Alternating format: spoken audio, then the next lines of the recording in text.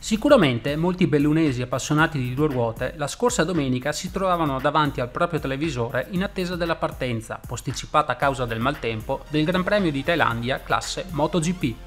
Qualcuno di loro avrà notato qualcosa di molto divertente. Tra le varie immagini della regia internazionale, diffuse a tutte le tv collegate in diretta, non poteva mancare quella della tribuna occupata dai tifosi dell'otto volte campione del mondo Mark Marquez, da poco rientrato nel circus ma a staccare tra le grafiche rosse col numero 93 vi era una presenza curiosa, uno striscione dai colori giallo-blu riportante la scritta Belluno c'è. Non è dato sapere chi fossero i tifosi bellunesi del pilota spagnolo in trasferta a quasi 9000 km dalla nostra provincia. Certo è che si sono fatti notare.